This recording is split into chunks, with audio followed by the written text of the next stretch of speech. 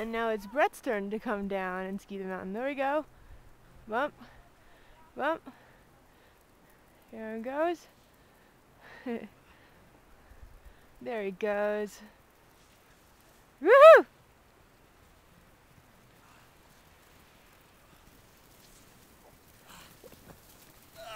Woohoo! Hey, baby. Hey, baby. Look at you. you. hey, so how is it up there? It's good. It's good, huh? Yeah, how'd I look? Looking amazing, babe. Yeah, Really cool. And it's starting to snow here. I know. Yeah, looking good. Here comes another gentleman looking Oh, yeah? looking good in here. Thanks.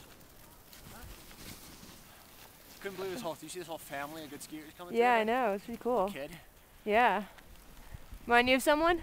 Huh? Remind you of someone? It did actually. and we see the mountains here. We had uh, amazingly high winds before.